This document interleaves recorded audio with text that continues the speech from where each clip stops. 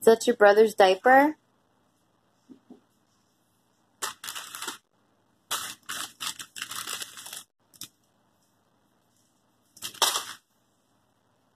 Did you see how cute Carson is?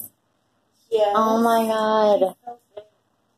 Yeah, he's big. He's like seven nine or something. That's it.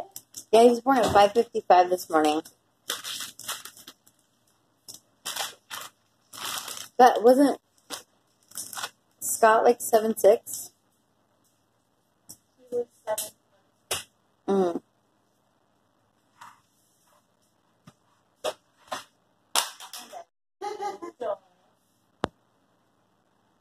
eh. Eh.